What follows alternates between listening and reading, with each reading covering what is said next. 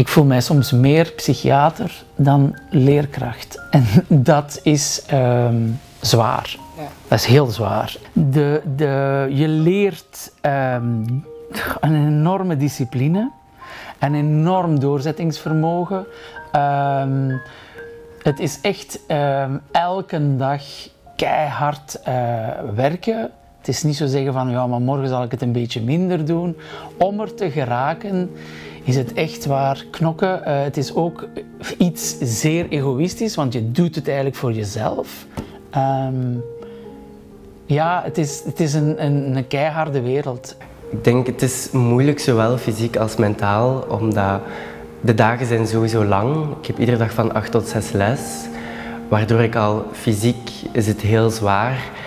En mentaal ook omdat je wilt altijd het beste en meer en meer, want het is nooit goed.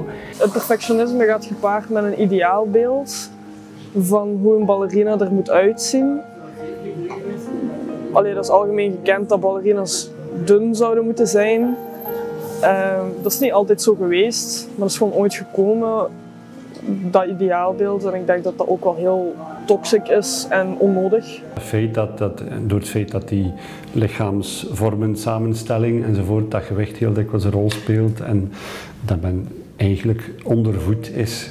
En iemand die ondervoed is, dan is zijn weefselkwaliteit, herstelvermogen inderdaad minder goed.